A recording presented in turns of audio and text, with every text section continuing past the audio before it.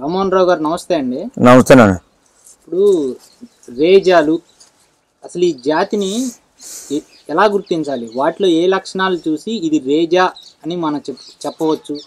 మీరు ఒకసారి చెప్పండి. రేజా అనేది బాగా కురస. పూరుకోడి అంతే ఉంటుంది. వాటికి కొన్ని లక్షణాలు ఉంటాయి. పూరుకోడికి జాతి కోళ్ళకి వేరే జాతుల కోళ్ళకి కొన్ని లక్షణాలు ఉంటాయి.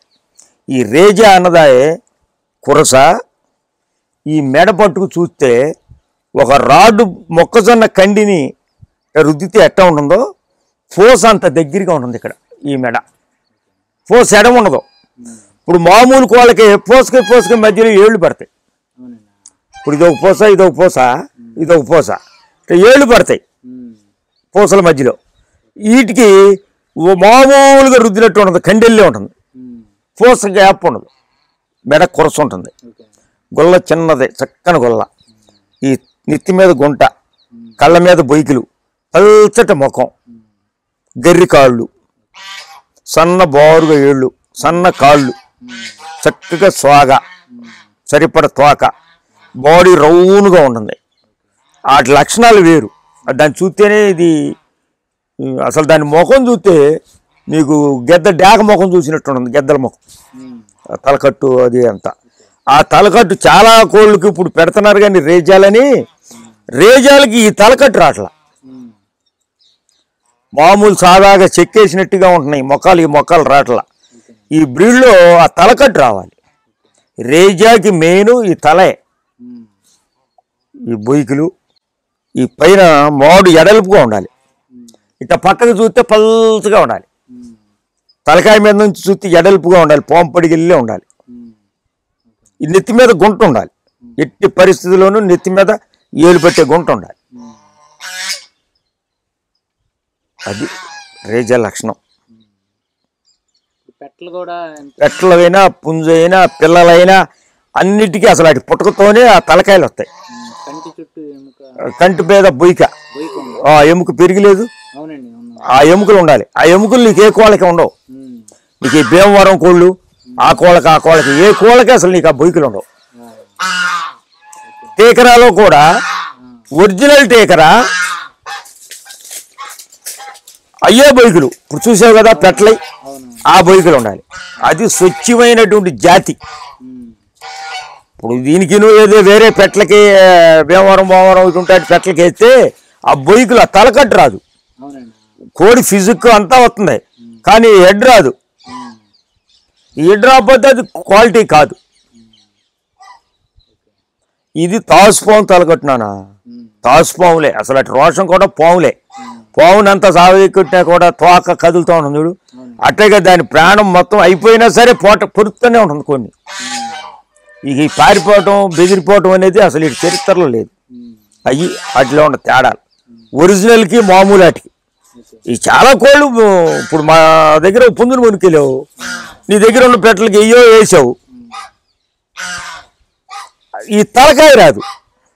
నీకు మెయిన్ ఈ మెడ ఇట్ట పట్టు చూస్తే ఈ బొయ్కులు ఈ గుంట పలుచట ముఖం చక్కగా లావు గొల్ల కన్ను ఆ షేప్ ఉండాలి. అది అవి జాతులు. ఈ టీకరాల గురించి చెప్పండి రామ్మోహన్ గారు వాటిని ఎలా గుర్తించాలి? వాటి లక్షణాలు ఏంటి?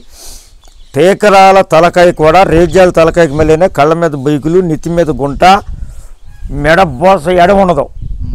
మన ముళ్ళుకర్ర సవరతెత్తి ఎట్ట ఉండదునగా అట్ట ఉండాలి. పోసుకై పోసుకై ఏళ్ళు దొరుకుతాయి మిగతా కోళ్ళకి. ఆ ఏళ్ళు అసలు ఖాళీ ఉండకూడదు పూస. కండి ఎట్ట ఉండదు మొక్కజొన్న కండి? ఆ టైపులో ఉండాలి మెడ. గుల్ల బలంగా ఉండాలి. తల పైన మాడు ఎడలుపుగా ఉండాలి. ఈ కళ్ళ మీదకు బైకులు ఇచ్చి ఉండాలట. పల్ ముఖం పలుచుగా ఉండాలి. ముఖం పలుచుగా ఉండాలి. మోడ ఎడలుపుగా ఉండాలి.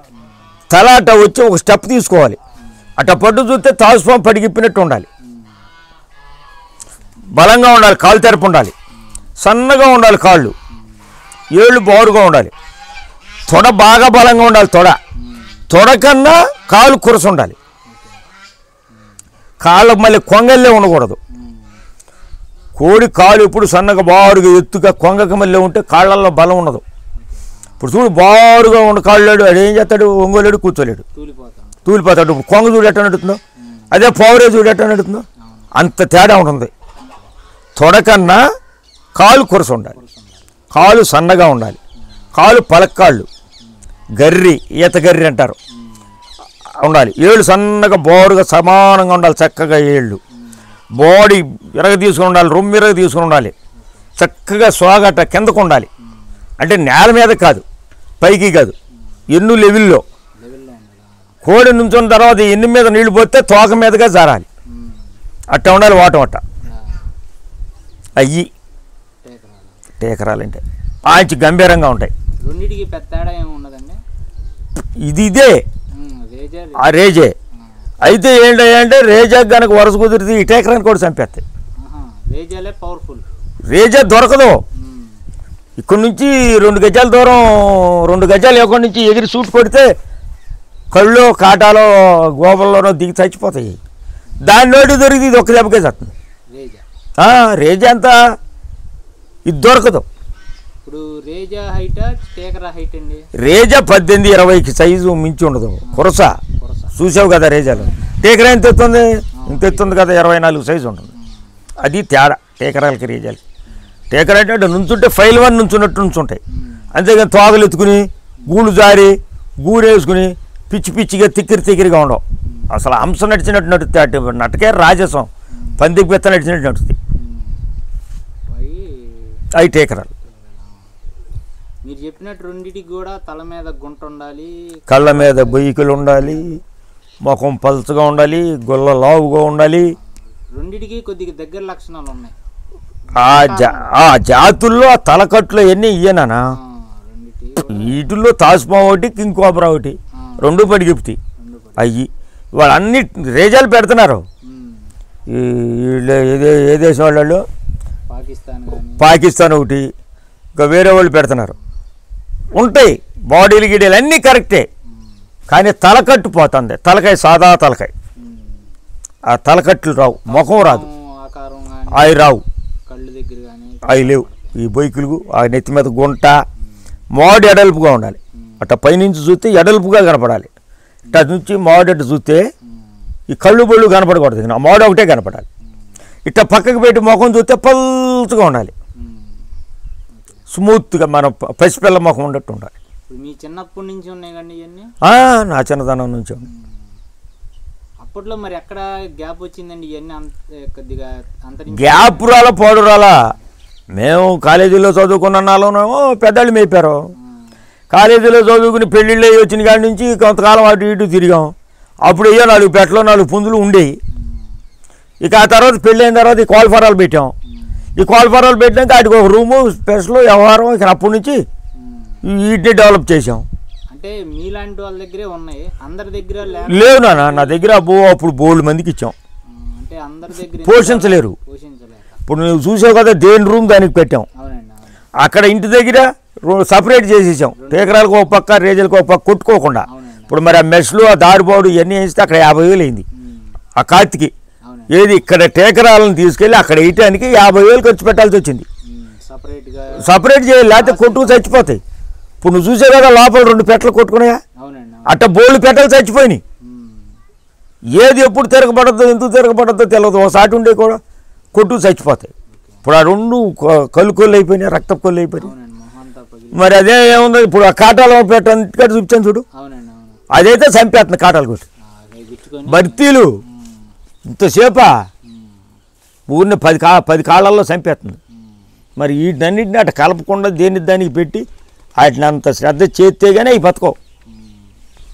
ఊరికే రాట్లా అయితే. ఏ బే ఊరికినట్టు అవుతాయి నన్ను ఎంత శ్రమ చూస్తున్నావుగా? క్రాస్ అవ్వకుండా మరి ఇది దీన్ని దాన్ని అది క్రాస్ అవ్వకూడదుగా. క్రాస్ క్రాస్ అయితే బ్రీడ్ రాదుగా. ఇప్పుడు ఎవడన్నా జాత పిల్లలు పెట్టుకెళ్తాడు నీ అమ్మ ఏంటి రెట్ అయినాయి సైజ్ అవుతాయి అనుకున్నావు కొరస అయినాయి కొరస అవుతాయి అనుకున్నావు సైజ్ అయినాయి. ఇవన్నీ మన మాటలు కదా. ఆడిచ్చే డబ్బులు ఎటు దిగుతాయో. ఇప్పుడు నువ్వు ఒక పాతిక వేలు ఇచ్చావు జత పిల్లలు మంచి చెట్టు పట్టుకున్నావు పట్టుకుపోయావు. మనం అనుకున్నావు ఎవలా నువ్వు తిడతావుగా నువ్వు ఇచ్చిన పాతిక వేలు గంట ఉండవు. ఏ దానా కొట్టాడుకో ఏ గోట దానా వాడికో ఎవరికో ఏ పాలేరుకో బొల్లుకో సరిచేస్తాం ఈ కోళ్ళు నీ దగ్గర శాశ్వతంగా ఉంటాయి. మరి ఉన్నప్పుడు మనకు మాట రాకూడదు అందుకని వాటి దేన్ని దానికి అంత ఖర్చు పెట్టి అంత పకడ్బందీ చేయాల్సి వచ్చింది. ఓకే.